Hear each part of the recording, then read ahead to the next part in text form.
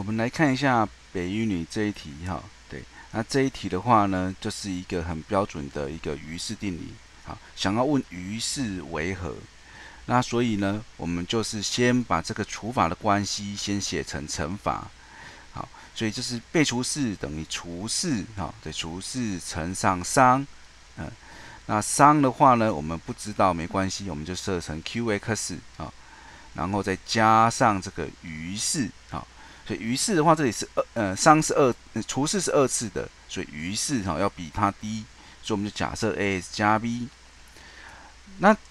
接着呢，我们想要利用这两个资讯啊，题目说怎样除 a 加一的余式是一啊，那这这个就是说代负一哈会得到一，所以我们就这里我们就得到负一带进来，好，这里就是零，那就变成负 a 加 b，好，那就会等于一。